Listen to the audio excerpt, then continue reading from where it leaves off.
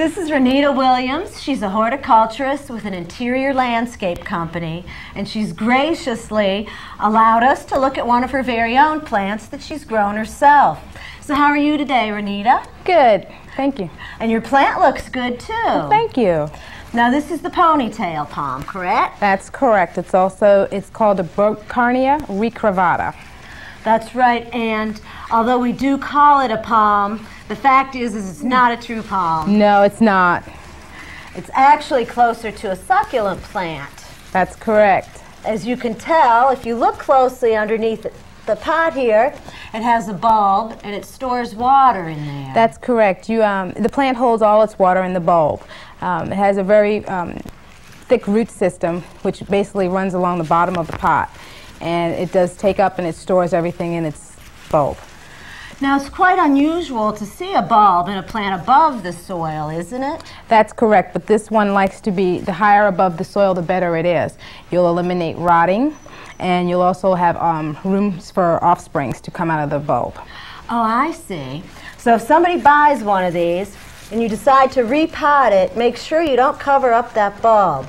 Anyway, they can grow to be quite attractive and unusual specimens. That's correct. Um, honestly, the smaller the pot with the less soil, the better plant you'll have because you'll have less water capacity to hold. Oh, I see. Now, how long have you had this plant? I've had this for um, one year, and in that year, it's grown from this height here. So I have about a foot of growth in a year.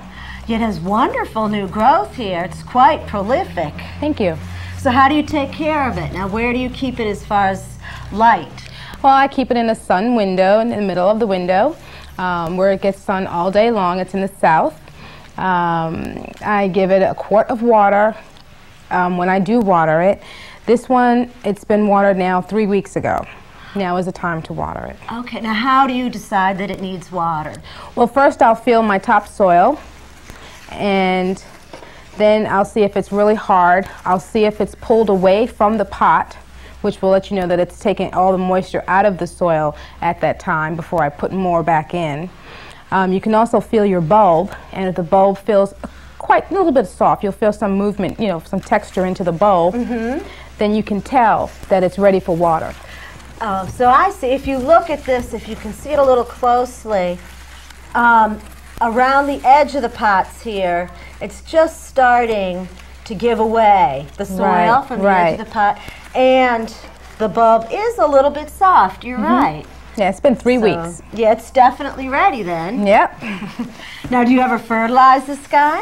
Well, in the summertime, I'll fertilize it once a week, once a month in the summertime. Mm -hmm. In the wintertime, as long as it's actively growing, which are coming out of the top with more new growth, then I will put it on a fertilizing program maybe once every three months. You don't want to over fertilize in the wintertime.